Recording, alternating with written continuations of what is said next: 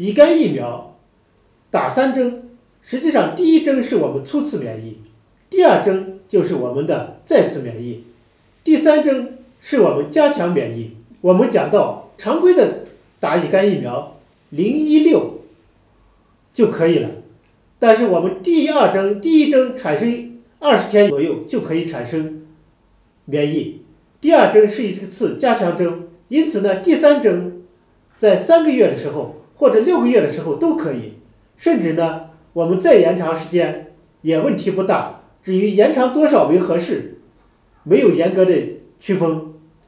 但是第一针和第二针是最重要的。